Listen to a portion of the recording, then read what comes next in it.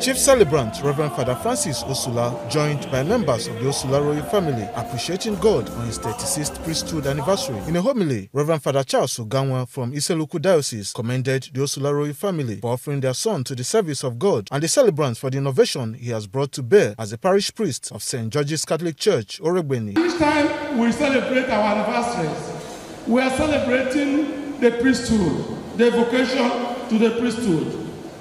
We congratulate him in a special way. We have come to thank God for sustaining him for 36 years.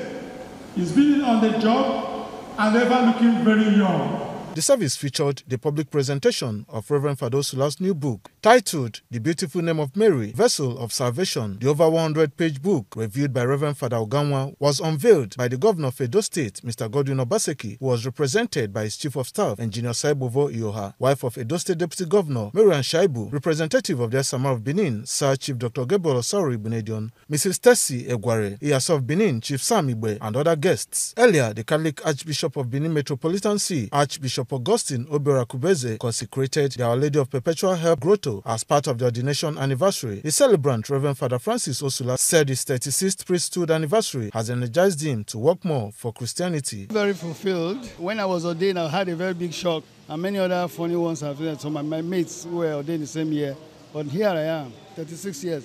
But it wasn't easy. I had some trials. But the most important thing is that we overcome the trials. Governor Obaseki's representative, Engineer Osaigbovo Iyoha, and other guests congratulated the celebrant. We pray to God that He keeps on uh, strengthening him and give him uh, good health.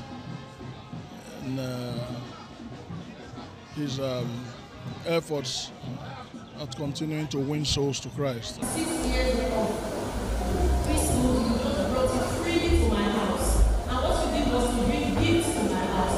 They focus on serving the Lord and bringing more and more people to God. I was present when he celebrated his priesthood in 1987. Pray to God to give him the strength to continue his work.